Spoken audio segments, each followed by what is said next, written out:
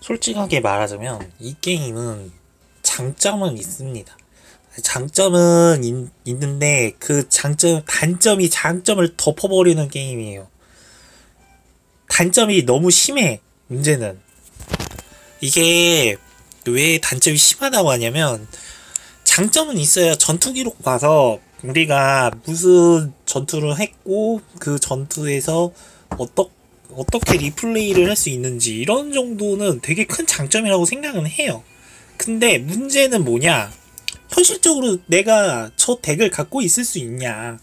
여러 가지 덱을 쓸 수 있냐? 이런 문제가 있기 때문에 이런 문제가 있어서 음 아니면 덱을 여러 가지로 할 거면 내가 3중 택 1, 뭐 3, 상대에 따라서 택할 수도 있게 좀 해놨으면은 더 좋았을 것 같아. 근데 일단은 그것까지는 바라지도 않고 그 전에 문제가 있어.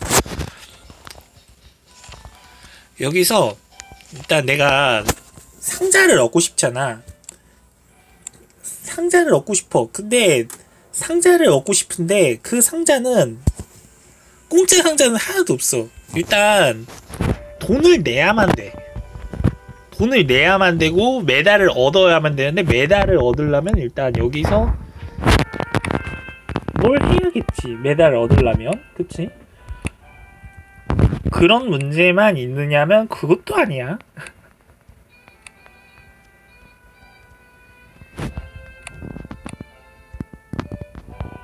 상점 카드 갱신권 따위는 솔직히 별로 별로 뭐 좋다고 생각 안 해요. 어차피 쓸 돈이 없어. 거기까지 갈 돈이 없어.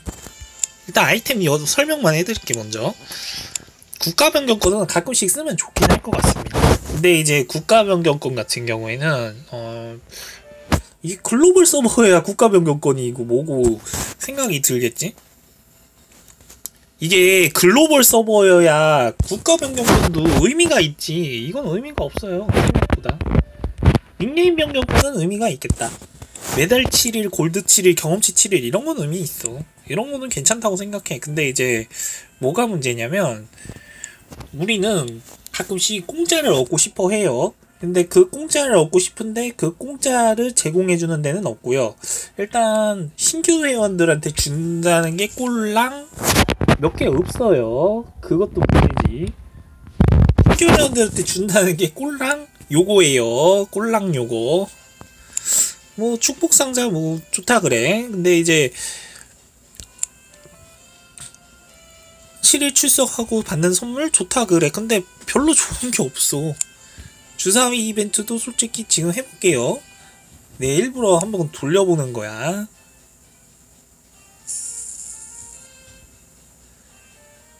공짜 주사위를 얻으려면 필요하대요. 왜 이거부터 하냐면 어차피 나 이제 더 안 할 것 같아서 더 안 할 것 같아서 그래. 더 할 것 같으면 상관없는데 더 안 할 것 같아.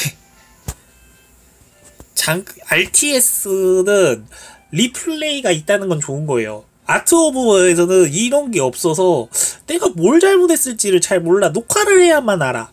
그리고 녹화를 할 수 있다는 장점도 있어. 있는데 일단 내가 이긴 거 위주로 나는 시청을 하는데 그래도 내 단점이 있을 거 아니야. 거기서도 내 단점이 있을 거 아니야. 그러면은 거기서부터 생각을 해야 될 거 아니야. 그치? 상대방이 뭘 했는지를 볼 수 있어요. 리플레이로서의 기능은 매우 매우 훌륭해. RTS가 해야 되는 일을 좀 알고는 있어. 근데 이 게임의 문제점은 수집형이야. 수집형인 게 문제는 아닌데 그러면은 그 수집을 어느 정도는 착실하지 않아도 할 수 있게는 해놨어야 돼. 근데 너무 심해 이거는. 그게 안 되는 게임이야. 아 그리고 태클을 간편화한 거는 사실 뭐 좋은 방법이에요. 어떻게 보면 그 어 아니 이거 그건 이 게임의 장점이라고 생각해. 그거만큼은 그거만큼은 이 게임이 장점이 있다고 생각하고 뭔가 더 좋게 나갈 수도 있어서 근데 문제는 광고도 안 했고 운영자도 열, 일을 안 해. 운영자가 뭐한 3명, 4명 된다고 그러거든? 내가 카페를 들어가 봤어. 근데 어, 운영자가 3명, 4명 되면 뭐해. 운영을 안 하는데, 운영자가 3명, 4명이면 운영을 제대로 해야지. 뭐, GM 토마스, 저쪽 옆 카페 가봐. GM 토마스가 얼마나 열심히 일해. 근데 여기는 일을 안 해. 내 공카를 들어가 봤거든.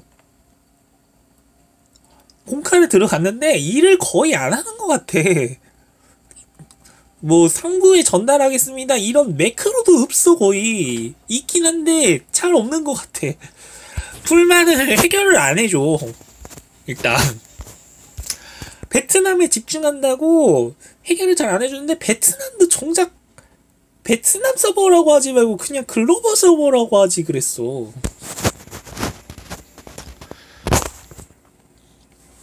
네, 리플레이만 보여주는 거는 일단 좀 이따가 내 게임을 진행할게. 이거는 상대방이 게임을 어떻게 진행했었나고, 그리고 실전에서 이렇게 좀 줄어드는 기능이 제대로 좀 작동했으면 좋겠어. 그게 작동을 안 하니까 뭐가 뭔지 모르겠어, 도통.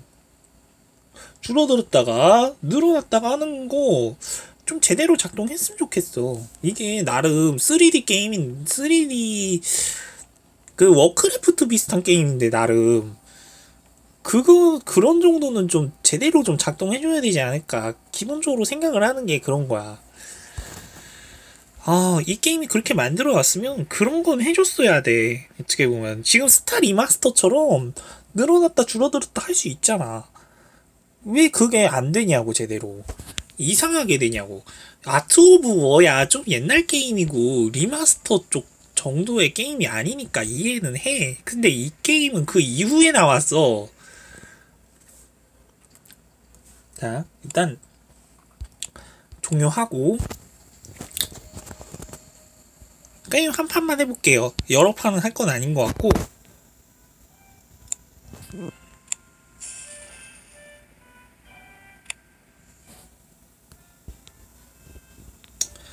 어 카드도 좀 업할게 아씨 잠깐만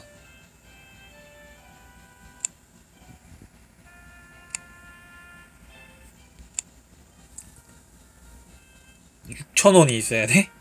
6천원 언제 보니? 잠깐만.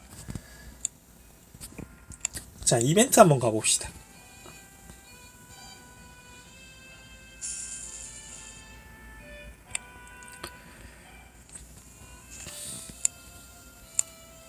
마지막 배치고사 한번 보고 끝낼게요.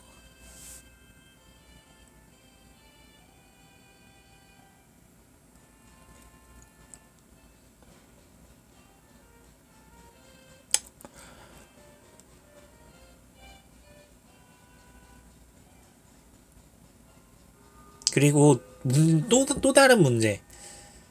이건 문제라고 하긴 좀 그런데 랭킹전에서 대기 시간이 너무 오래 걸려. 한 30초 빡 되면 그냥 컴퓨터라도 배치시켜주면 좋겠어. 아니 어떤 사람은 이 게임 배치하는 데만 10분 걸렸대. 이게 롤이야? 말이 돼? 아니 롤도 이 정도는 아니 롤은 인기가 많으니까 그래도 10분까지 걸릴 일도 없고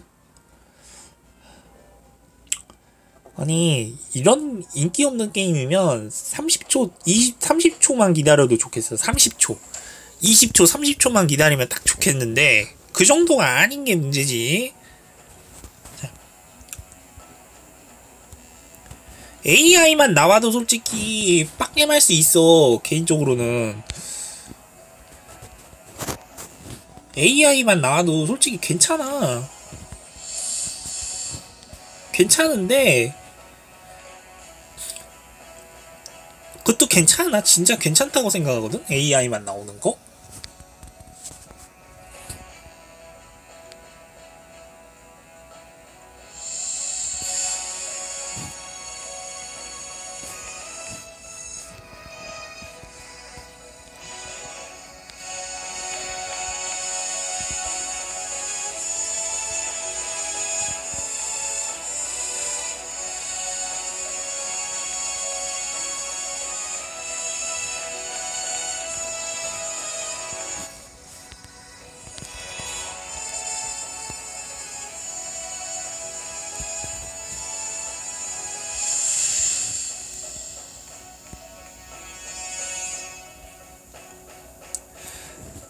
이렇게 상대방 본진이 다알 수, 본진이 어딘지 지도의 친절함은 되게 좋아요. 그래서 진입 장벽이 좀 낮아진 편입니다. 그건 되게 좋은데 어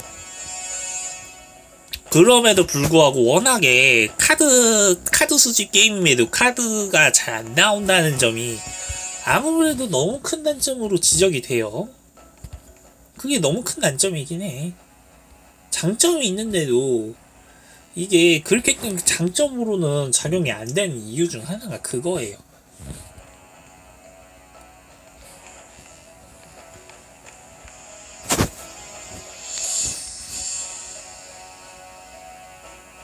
난 미네랄 좀 캐다가 씨, 이거 말고 인프 만들려고 한 건데 내가 또 잘못 눌렀지.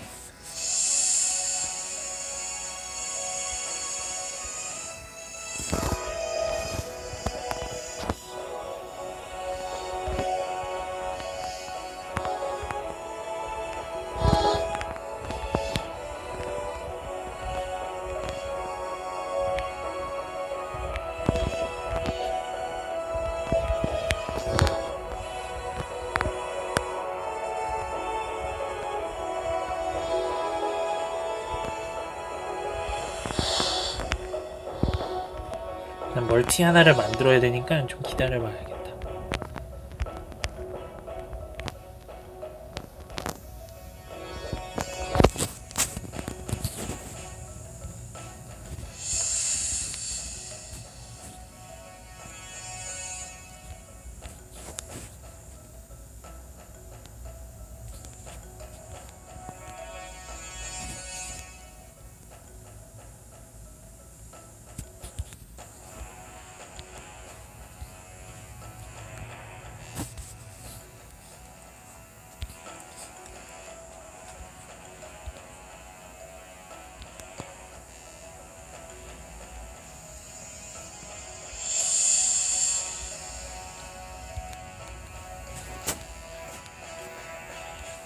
일단 여기에 멀티가 있나 한번 볼게.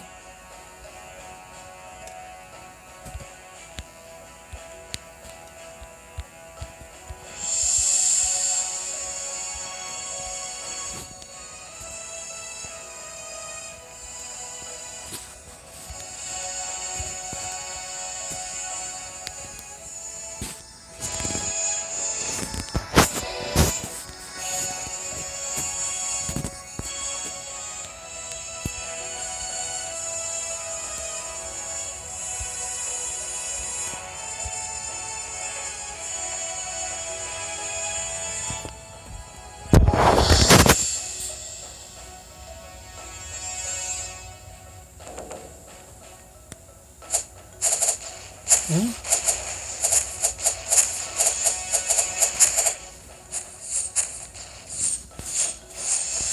아이씨 잘못 잡았네. 핀트를 잘못 잡았어. 상대가 인프가 이렇게 많을 줄 몰랐다. 아씨.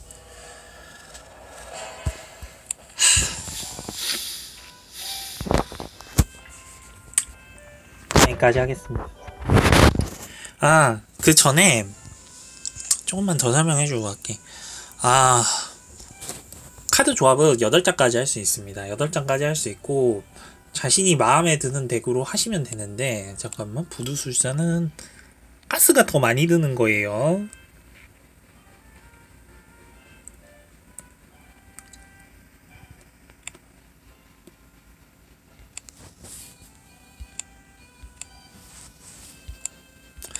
이게 끌어서 쓰는 게 아니고 그냥 바, 사용으로 바꿔서 써야 되기 때문에 조금 생각을 해보셔야 될 겁니다. 쓸 때.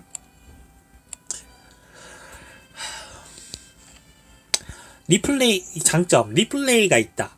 그리고 두 번째 뭐 deck을 여러 가지 짤 수 있다. 그리고 replay를 보는 기능이 매우 좋다. 단점 원하는 게 너무 안 나온다. 그리고 시야가 조금 애매하다. 원하는 게 안 나온다 정도가 아니라 이게 덱을 짜기가 너무 힘들어요. 게임 자체가. 아, 이 덱을 어떻게 짜야 되나 이런 느낌의 상황이에요. 상황 자체가. 그런 것 때문에 어, 내가 하나 보면은 좀 뭔가 전략적이라기보다는 이게 루즈한 스타가 될 수도 있어. 너무 타이트하기만 한 스타가 될 수도 있어. 진짜 전략적인 느낌이 좀 덜 든다고 해야겠지. 그러니까 전략적인 덱을 생각하는 게 아니라 물량 물량이 물량이 우선된다든가 뭐 이런 느낌의 플레이가 우선시 될 수도 있어. 그 점이 아무래도 좀 반감을 산 것 같아요. 음, 그 점이 아무래도 여기까지 하고 지우겠습니다. 네, 루나야.